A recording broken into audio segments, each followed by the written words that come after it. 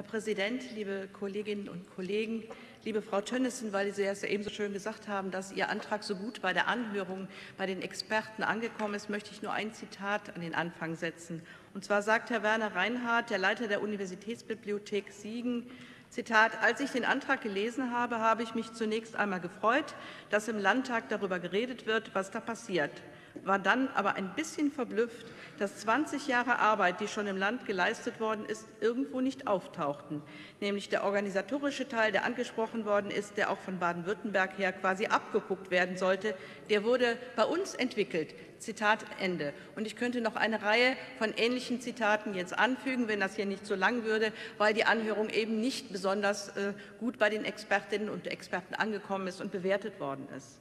Liebe Frau Tönnissen, die CDU und Sie reklamieren in Ihrem Antrag auch ein erfolgreiches Hochschulfreiheitsgesetz und fordern aber gleichzeitig uns auf, die Landesregierung, dass wir dafür sorgen sollen, die Hochschulen mögen sich gemeinsam koordinieren.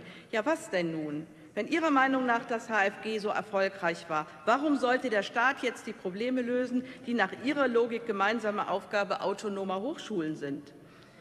Wir sehen uns tatsächlich in der Verantwortung, dort einzugreifen, wo die Selbststeuerung der Hochschulen an ihre Grenzen kommt. Aber zunächst sollten wir einmal, um es mit Ihren Worten zu sagen, in die Fähigkeiten der Hochschulen vertrauen und uns vor allem ansehen, was es im Bereich der konsortialen Erwerbung elektronischer Ressourcen ja bereits gibt. Erstens. Das Land fördert längst eine Einrichtung, die die Konsortialfunktion ausübt, das Hochschulbibliothekszentrum äh, NRW und dort wird seit 1999 der gemeinschaftliche Erwerb von Datenbanken, von E-Books und Journals für Hochschulen und Bibliotheken organisiert. Für einige elektronische Inhalte ist das HBZ überregionaler und sogar bundesweit exklusiver Konsortialführer. Darüber hinaus findet eine Kooperation mit Konsortien in Österreich und der Schweiz sowie mit Konsortien aus Staaten von allen Kontinenten statt. Das HBZ übernimmt auch organisatorisch und technisch die Bereitstellung vieler der erworbenen Produkte und bietet Veranstaltungen dazu an. Zweitens. Während Sie in Ihrem Antrag das Beispiel eScience aus Baden-Württemberg als vorbildhaft herausgreifen, beschränken Sie sich in Ihren Forderungen auf das Thema Lizenzierung. Zum Baden-Württemberger Konzept gehören aber auch ganz wesentlich die Themen Digitalisierung von Materialien und Arbeitsprozessen sowie Open Access und Open Data. Und insbesondere zu letzten beiden Punkten haben Sie sich in der Vergangenheit aber wiederholt einer fortschrittlichen Lösung verweigert.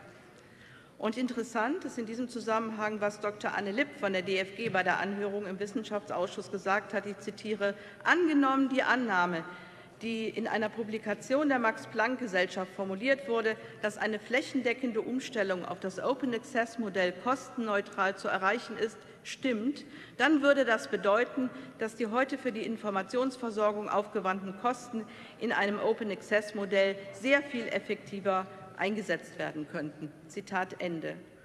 Meine Annahme wäre sogar, dass heute mehr Kosten in den Subskriptionsbereich fließen als in einen Open Access Modellbereich, sagt sie dann weiter an anderer Stelle. Wenn es also um die Gesamtherausforderung der Digitalisierung im Wissenschaftsbereich geht, dann kneifen Sie. Doch auch hier leistet das HWZ NRW schon wichtige Arbeit.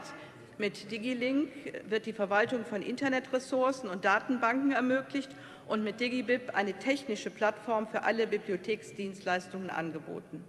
Und auch um die Organisation des vom Land geförderten Programms Digital Peer Publishing der Open Access Initiative zum Aufbau qualitätsgesicherter elektronischer Fachzeitschriften kümmert sich die Einrichtung.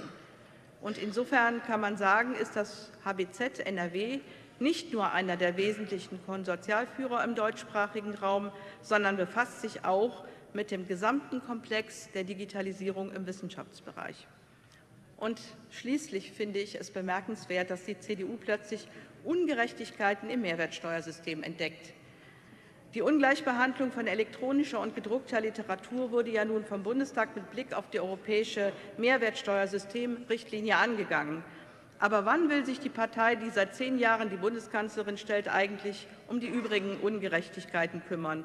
Und falls es Ihnen hier an konkreten Beispielen fehlt, kann ich Ihnen gerne auf die Sprünge helfen. Rennpferde und Skilifte 7 Prozent, Mineralwasser und Babywindeln 19 Prozent. Das ist die absurde Realität. Vor diesem Hintergrund und weil Sie mit Ihren Ansichten zur Digitalisierung nicht auf dem aktuellen Stand sind, werden wir Ihren Antrag heute ablehnen. Aber vielen Dank für die Debatte.